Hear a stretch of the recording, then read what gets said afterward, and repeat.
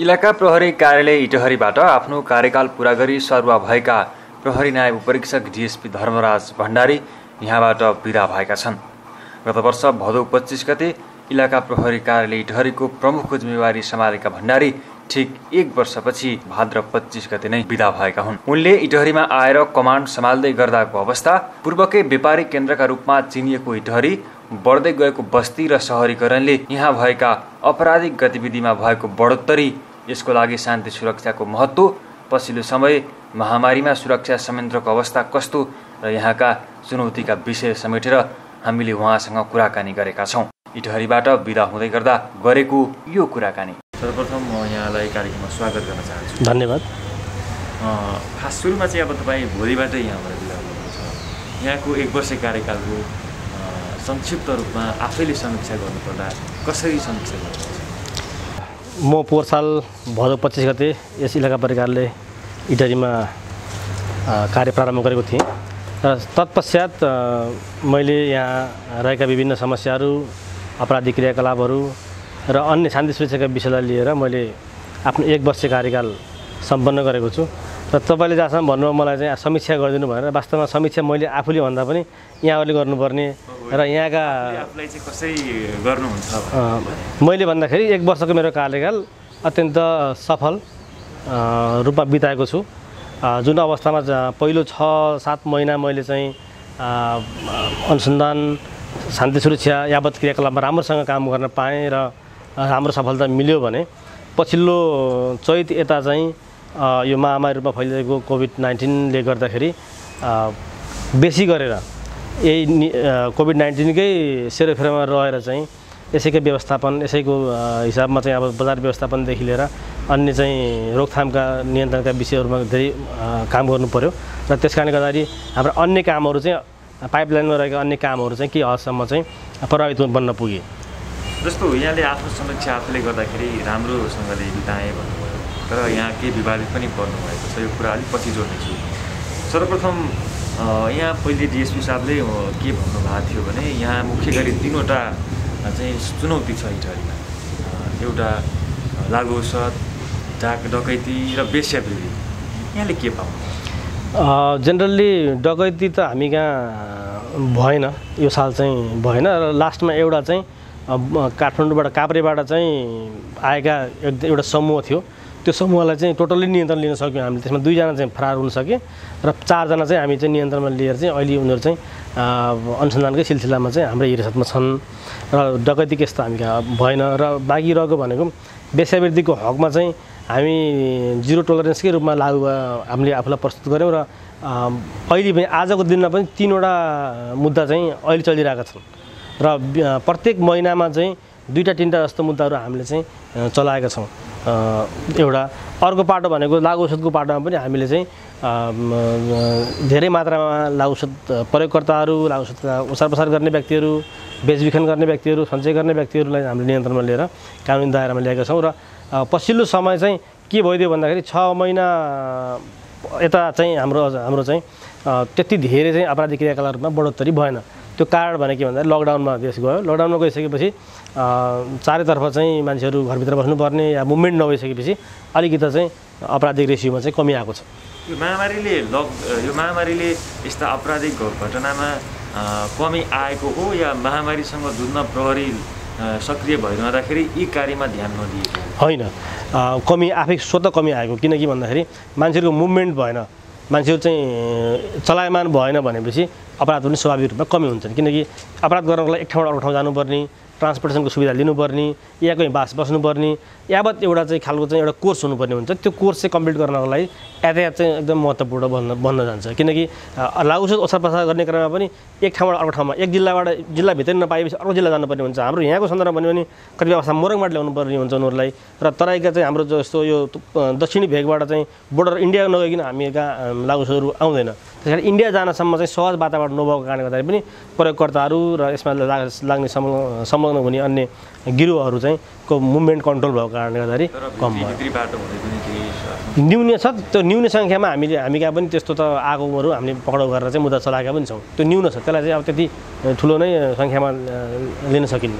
पहिले के भन्नुभएको थियो भने यहाँ लागु प्रयोगकर्ताको सङ्ख्या अत्याधिक छ। मानिसहरू घर घरमा गएर पनि सर्च गर्दाखेरि यो भेटिन सक्ने सम्भावना छ। यसलाई आउने डिएसपी साहबहरूले निकै हेर्नुहुनेछ भनेर बिदा हुनुभएको थियो उहाँ। यस्तै कार्यक्रममा। यहाँले के पाउनुभयो प्रयोगकर्ता प्रयोगकर्ताको सङ्ख्या चाहिँ छ नभएको होइन। हामीले त्यसको चाहिँ हेऱ्यौँ भने चाहिँ हामी कहाँ यहाँ भएका लागु सत्र स्थापना केन्द्रहरूमा चाहिँ गएर चाहिँ हामी त्यहाँ सङ्ख्या कति मान्छेहरूले ट्रिटमेन्ट गरिरहेको छ भने त्यो सङ्ख्या हेऱ्यौँ। र हामी कहाँ चाहिँ यहाँ मुद्दा चलेका मान्छेहरूको चाहिँ सङ्ख्या हेऱ्यौँ भने त्यसले त्यो दर्शाउँछ। अवश्य पनि दर्शाउँछ त्यो। तर यो होइन कि एकदमै आउट अफ कन्ट्रोल या हामीले कन्ट्रोल गर्न नसक्ने अवस्थामा नरहेको रहेको अवस्था पनि होइन। र हामीले पक्राउ गर्ने कारवाही गर्ने र कानुन दायरामा लाने एउटा पार्टलाई हामीले अगाडि बढाएका छौँ भने दोस्रो चरणमा अर्को पार्टमा चाहिँ हामीले चाहिँ विभिन्न जनचेतनामूलक कार्यक्रमहरू पनि सँगसँगै अघि बढाएका छौँ। त्यो ग्रुपमा रहन सक्ने सम्भावित त्यस्तो चाहिँ लागुसुदको प्रयोग गर्न सक्ने ग्रुपहरू जस्तो भलरेबल टाइपको एज ग्रुप हुन्छ। त्यो एज ग्रुपका विद्यार्थीहरूलाई त्यो एज ग्रुपका अन्य मजदुरहरू वर्गहरूमा हामीले चाहिँ पटक पटक चाहिँ यो समुदाय प्रहरी साझेदारी कार्यक्रम अन्तर्गत यो कोभिड नाइन्टिनको भन्दा अगाडि चाहिँ हामीले चाहिँ धेरै स्कुलहरूमा चाहिँ हामीले यस्तो फङ्सनहरूका कार्यक्रमहरू गरेका छौँ सार्वजनिक ठाउँहरूमा गरेका छौँ। त्यति मात्र नभएर हामीले इटरीमा चाहिँ हामीले चाहिँ चारवटा स्कुलमा चाहिँ हामीले चाहिँ fan club fight against narcotics भनेर फ्यान क्लब पनि गठन गरेका छौँ। र त्यो फ्यान क्लब गठन गरे पश्चात उनीहरूलाई चाहिँ पुस्तकहरू दिने उनीहरूलाई चाहिँ सूचना पार्टीहरू बनाएर त्यो भित्ति पत्रिका प्रकाशन गर्नको लागि चाहिँ आवश्यक मेटेरियल्सहरू दिने त्यसतर्फ गाइड गर्ने लगायतका क्रियाकलापहरू पनि भइरहेका थिए। तर जब कोभिड नाइन्टिनको सङ्क्रमण आइसकेपछि सबै लकडाउनमा गइसकेपछि हाम्रो स्कुल प्रोग्रामहरू सबै कुराहरू चाहिँ ग्यादरिङ गर्न नमिल्ने हुनाले चाहिँ रोकेका हुन्। र हामीले समुदाय स्तरमा यसको चाहिँ प्रोएक्टिभ रूपमा चाहिँ लागु नियन्त्रणको लागि चाहिँ हामीले चाहिँ पक्राउ गर्ने कानुनी कारवाही गर्नेको अलावा पनि हामीले चाहिँ प्र्याक्टिभ चाहिँ पुलिसिङको रूपमा चाहिँ त्यो तर्फ पनि हामीले चाहिँ धेरै कामहरू गरेका छौँ। यहाँले मेन चुनौती चाहिँ के देख्नु लागु नै देख्नुभयो कि अनि अरू के? त्यति इटरीमा त्यस्तो ठुलो विकराल चुनौतीको रूपमा त लागु छ त मैले लिन्न। यो कन्ट्रोल नै छ कुनै त्यस्तो तहस नहस भएको अवस्था या थेक्न नसकेको अवस्था। उहाँले चाहिँ मसँगै कुराकानी गर्दाखेरि चाहिँ लागु शक्ति बिगाएर रुक्ने चाहिँ चुनौती नै छ। मेन चुनौती उहाँले दर्शाउनु भएको छ। अब यस समाजमा यस्तो छ। अब हाम्रो समाजमा हेऱ्यो भने लागु उसलाई मात्रै हामीले फोकस गर्छौँ तर हामीले मद्यपानलाई धुम्रपानलाई पनि सँगसँगै लानुपर्ने हुन्छ। किनकि प्रत्येक घरमा मान्छे मद्यपान लिन्छ प्रत्येक घरमा मान्छेले धुम्रपान लिन्छ प्रत्येक घरमा मान्छेले सुर्ती सुर्तीहरू चाहिँ गुटखाहरू सेवन गर्छ। त्यो पनि एक प्रकारको चाहिँ एडिक्सन नै हो। त्यसलाई चाहिँ यसलाई चाहिँ फरक राखेर तर के भन्दाखेरि अब कन्ट्रोल ड्रग्सहरूको युज गर्ने र अवैध चाहिँ अन्य चाहिँ केमिकल ड्रग्सहरूको युज गर्ने एक पार्ट हो भनेपछि त्यसले गर्दाखेरि त्यो सङ्ख्यामा चाहिँ स्वाभाविक रूपमा चाहिँ अलिक बढी नै देखिन्छ। तर त्यस्तो धेरै कि हामीले बाटैमा खाएर पल्टिरहेको अवस्थामा भेट्ने या एकदमै चाहिँ मान्छेहरू चाहिँ नसामा रहेर चाहिँ चुर भएर अवस्थामा भेट्ने यो अवस्था त छैन। लुकी चोरी चाहिँ अब यो बाक्लो बस्ती सहरीकरण खुल्ला सिमाना यावत अन्य चाहिँ कुराहरूको फाइदा उठाएर चाहिँ कुलतमा लाग्नेहरू सङ्ख्या छ। तर त्यस्तो धेरै होइन कि हामीले चाहिँ यो अब के हुन्छ भनेर चाहिँ आत्तिहाल्ने अवस्था चाहिँ इटलीमा छैन अहिले छैन। त्यस्तो यहाँको चुनौती चाहिँ मैले खासमा चाहिँ जेनरली इटलीमा चाहिँ एउटा चाहिँ त हामी कहाँ सडक दुर्घटना पनि एउटा चुनौतीको विषय छ। किनकि हामी कहाँ धेरै तर्फबाट बाटोहरू जोडिने बाक्लो घना बस्ती भएको र चाहिँ खालको चुनौती एउटा एउटा चाहिँ सवारी दुर्घटना पनि छ। अर्को भनेको चाहिँ यहाँ अलिकति लैङ्गिक टाइपको हिंसाहरू पनि बेसी छ। त्यसलाई पनि हामीले उजागर गर्नुपर्ने हुन्छ। यहाँ धेरै मात्रामा चाहिँ श्रमिकहरू चाहिँ विभिन्न फ्याक्ट्रीहरूमा विभिन्न चाहिँ यो अब तपाईँलाई थाहा छँदैछ यो चाहिँ अब औद्योगिक कोरिडोरको रूपमा चाहिँ रहेको स्थान हो। यहाँ अत्याधिक धेरै मात्रामा चाहिँ विदेशी तथा स्वदेशी मजदुरहरू हुनुहुन्छ र ती मजदुरहरू काम गर्ने ठाउँमा चाहिँ अलिकति यौनजन्य हिंसाहरू भएको घटनाहरू पनि पाउँछौँ हामीले। र त्यो पनि एउटा चाहिँ अहिलेको चाहिँ यहाँको एउटा च्यालेन्ज पनि हो। र त्यस त्यो त्यसलाई हामीले कोप गर्नको लागि त्यसलाई हामीले चाहिँ म्यानेज गर्नको लागि पनि हामीले चाहिँ फ्याक्ट्रीहरूमा पूर्ववत रूपमा चाहिँ कोभिड नाइन्टिनको भन्दा अगाडि समयमा चाहिँ हामीले चाहिँ फ्याक्ट्रीहरूमा गएर पनि त्यो हामीले ओरिएन्टेसन क्लासहरू चाहिँ सञ्चालन गरेका छौँ। रिलायन्सदेखि लिएर थुप्रो फ्याक्ट्रीहरूमा चाहिँ हामी पुगेर आफै स्वयं म पुगेर चाहिँ क्लासहरू लिने उहाँहरूलाई सचेत गराउने उहाँहरू चाहिँ कुनै कारणमा चाहिँ मानस बेचबिखन पर्न सक्ने यावत कुराहरूलाई चाहिँ उहाँहरूलाई अवेर गराउने कामहरू पनि भएको छ। त्यस्तो यहाँ इटर यहाँभन्दा बाहिरका मानिसहरू आएर बस बसाइसराई गर्ने बढ्दै गर्दाखेरि कुन प्रकृतिका मान्छे आउँछन् इटरीका भन्दा भन्ने कुरा थाहा नपाइरहँदाखेरि यो अवस्था पनि एक सिर्जना स्वाभाविक हो। के हुन्छ भन्दाखेरि यो समाज विकासको यो सिलसिलामा नै यस्ता खालका घटनाहरूले बढोत्तरी पाउने यो यो चाहिँ स्वाभाविक रूपमा पनि हो। किन भन्दाखेरि मान्छेहरू विभिन्न चाहिँ सहरमा केन्द्रित रूपमा मान्छेहरू चाहिँ पाहाडबाट या अन्य ठाउँहरूबाट चाहिँ बसाइसरे गरेर आफ्नो चाहिँ भविष्य खोज्नलाई या अन्य आफ्नो चाहिँ केही गर्नलाई आउँछन् र चाहिँ उनीहरूले जब चाहिँ त्यो खालको चाहिँ सपना लिएर आएको सपना पुरा हुँदैन। त्यसपछि मान्छे फ्रस्ट्रेसनमा गयो भने चाहिँ अलिकति गलत गर्न खोज्ने या अपराधिक क्रियाकलापमा संलग्न हुने यो खालको चाहिँ अवस्था रहन्छ नै। अलिकति सा समुदाय प्रहरी साझेदारी कुरा कार्यक्रमको कुरा। यो कार्यक्रम लागू भइकन इटहरीमा अवस्था कस्तो? यसले अत्यन्त राम्रो प्रभाव पारेको थियो सुरुको अवस्थाहरूमा। र यो प्रभावकारी कार्यक्रम पनि हो। किनकि हामी समुदायमा जानुपर्छ। समुदायमा नगइकन हामीले चाहिँ समुदायका समस्याहरू र अपराध र अपराधीका चाहिँ प्रवृत्तिहरू पनि हामीले चाल पाउँदैनौँ र कतिपय अवस्थामा सूचनाहरू चाहिँ रोकिराखेको हुन्छ। त्यो सूचना रोकिराखेको सूचनाहरू या या चाहिँ कसलाई भन्ने कहाँ भन्ने के गर्ने भन्ने कुराहरूमा आम सर्वसाधारणमा रहेका चाहिँ रोकिराखेको अवस्थामा चाहिँ त्यसरी हामी समुदाय पर साझेदारी कार्यक्रम लिएर जाँदाखेरि चाहिँ सूचनाहरूको चाहिँ फ्लो चाहिँ वात्तै बढेर आउँथ्यो।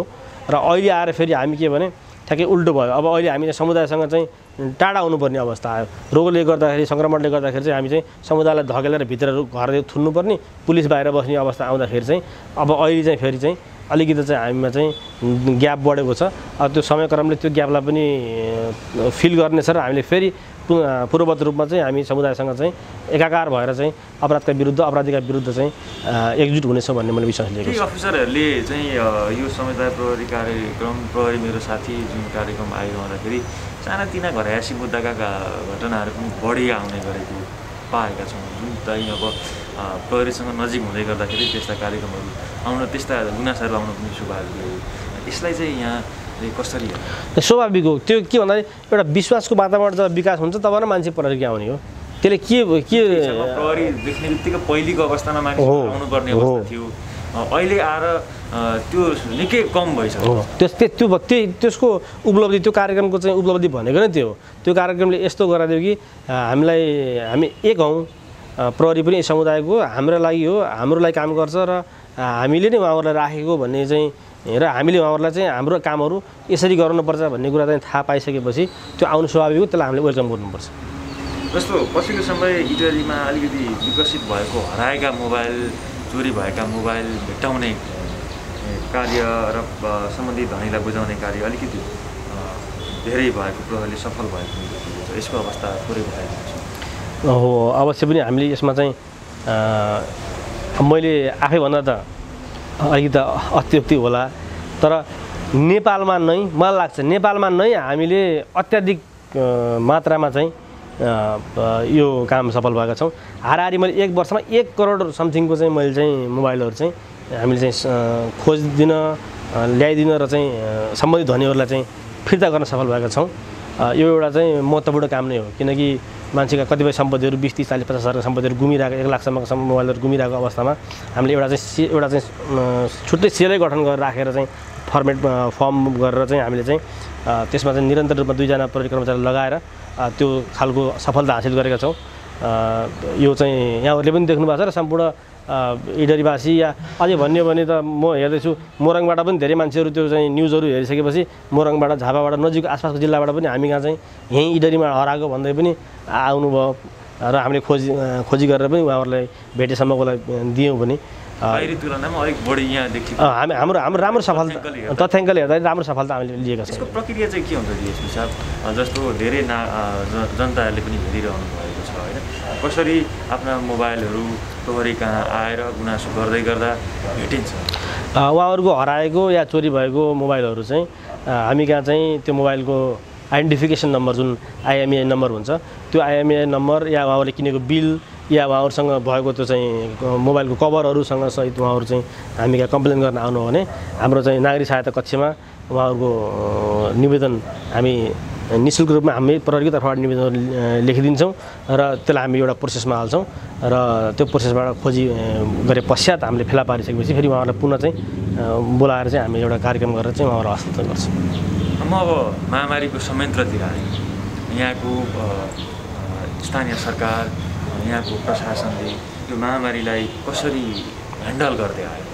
जहिलेदेखि कोभिड नाइन्टिनको सङ्क्रमण फैलियो र देश लकडाउनमा गयो तत तत्कालदेखि हामीले चाहिँ स्थानीय सरकार इटरी महानगरपालिका जिल्ला प्रशासन कार्यालय मेरो तालुका कार्यालय जिल्ला प्रहरी कार्यालय र इटरी मेरो इलाका प्रहरी कार्यालयले हामीले एक आपसमा समन्वय गरिकन अब केन्द्र सरकारदेखि प्रदेश सरकारदेखि आएका निर्देशनहरू र चाहिँ बमोजिम चाहिँ हामीले चाहिँ समयको अनुकूल कतिपय अवस्थामा चाहिँ एरियाहरू सीमित एरियाहरू सिल गर्नेदेखि लिएर पूर्ण लकडाउन गर्नेदेखि लिएर अन्य हाम्रो चाहिँ जुन जति पनि क्रियाकलाप यसमा प्रचार प्रसार गर्नेदेखि लिएर सचेतना फैलाउनेदेखि लिएर हरेक कुराहरूमा चाहिँ हाम्रो एक आपसमा कोअर्डिनेसन गरेर निर्देशन भए अनुसार नै हामी चाहिँ इटरीमा चाहिँ हालसम्म आएर चाहिँ बजार व्यवस्थापनदेखि लिएर नागरिकहरूलाई सङ्क्रमित नागरिकहरूलाई चाहिँ कन्ट्याक्ट ट्रेसिङ गर्नेदेखि लिएर उहाँहरूलाई चाहिँ उपचारको लागि चाहिँ आइसोलेसनमा पठाउनेदेखि लिएर यावत क्रियाकलापहरू चाहिँ यही समन्वयमा हाम्रो यही बोडीको समन्वयमा नै हामी गरिरहेका छौँ।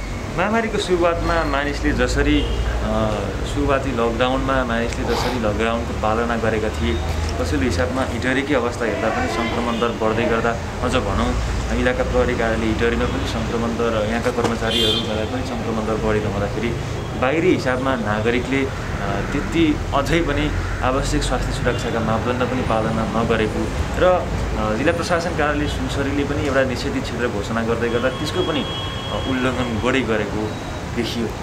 अब यसमा के छ भन्दा यो एकदम लामो समय पनि भयो।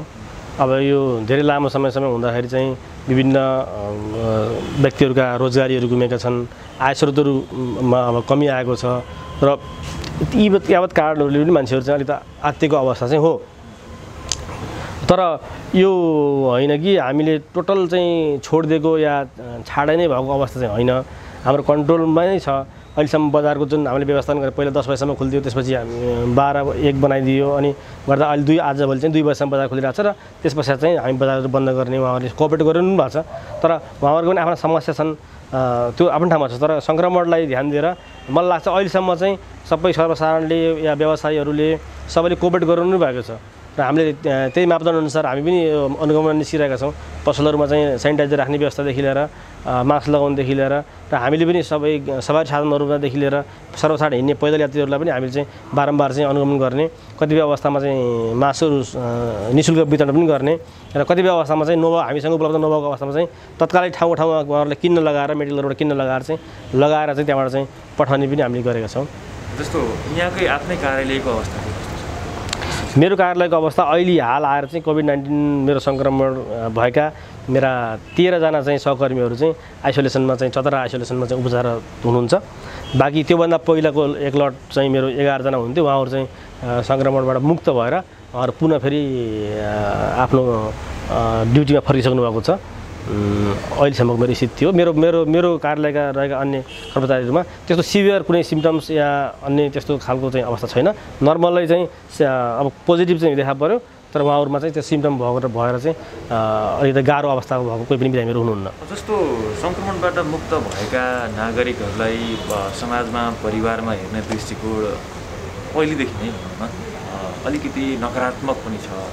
र प्रशासनको प्रमुख भएर यहाँ के यसलाई हामीले त्यसरी लिनु हुँदैन यो कुनै व्यक्तिले व्यक्तिगत गल्तीका कारण या व्यक्तिगत आचरणका कारण या व्यक्तिगत लापरवाहीका कारण या व्यक्तिले गलत गरेका कारण चाहिँ यो रोग चाहिँ लागेको या फैलने होइन। यो विश्वभरि नै फैलेको छ। यसले ठुला साना धनी गरिब कोही भनेको छैन। यो एउटा चाहिँ सङ्क्रामक रोग हो। र यो सङ्क्रामक रोग रोग चाहिँ यो स्वतः चाहिँ यो चाहिँ एक देशदेखि अर्को देशसम्म विभिन्न कारणले चाहिँ फैलिएको हुनाले चाहिँ हामीले व्यक्तिलाई या कुनै मान्छेलाई चाहिँ दोषी दोष लगाउनु या उसलाई हेला गर्नु या उसलाई तिरस्कार गर्नु हुँदैन। उसलाई माया सद्भाव र उहाँलाई सपोर्ट गर्नुपर्छ। उहाँलाई मोरली हामी सपोर्ट गरेर उहाँको मोरल बुस्टअप गरेर उहाँलाई चाहिँ त्यो रोगबाट चाहिँ ओभरकम हुने हामीले चाहिँ सिचुएसन डेभलप गर्नुपर्छ ताकि हामीले चाहिँ उहाँलाई चाहिँ हेला गर्ने या सिसिधुर गर्ने या बहिष्कार गर्ने चाहिँ गर्नु हुँदैन। यदि कोही कसैले त्यस्तो गरेको खण्डमा चाहिँ सङ्क्रामक रोग ऐन अन्तर्गत कारवाही पनि भइजान्छ। त्यो व्यवस्था पनि छ कानुनमा। त्यस कारणले म तपाईँहरूको टेलिभिजन मार्फत त्यस्तो खालको क्रियाकलाप चाहिँ नगर्न हुन यहाँहरूमा मार्फत नै म अनुरोध गर्दछु। यदि कसैलाई लागेको खण्डमा उहाँलाई आइसोलेट गर्ने हो उहाँलाई चाहिँ एकान्तवासको व्यवस्था मिलाउने हो तर उहाँलाई चाहिँ तिरस्कार गर्ने चाहिँ होइन। खासमा अग्रपङ्क्तिमै रहेका स्वास्थ्यकर्मी सुरक्षाकर्मी सञ्चारकर्मी लगायतलाई पनि दुर्व्यवहार हुने गरेका पनि घटनाहरू छ यस्ता पनि जरुरी छ। भन्ने कुरा राख्नुहुन्छ यहाँले। होइन मैले पनि अब विभिन्न समाचार माध्यमबाट पत्र पत्रिकाबाट न्युजहरूमा मैले पनि त्यो हेरिरहेको छु मैले पनि त्यो सुनिरहेको छु। तर त्यो चाहिँ के भन्दाखेरि हामीमा रहेको व्याप्त गलत बुझाइको कारण हामी त्यो गर्दैछौँ।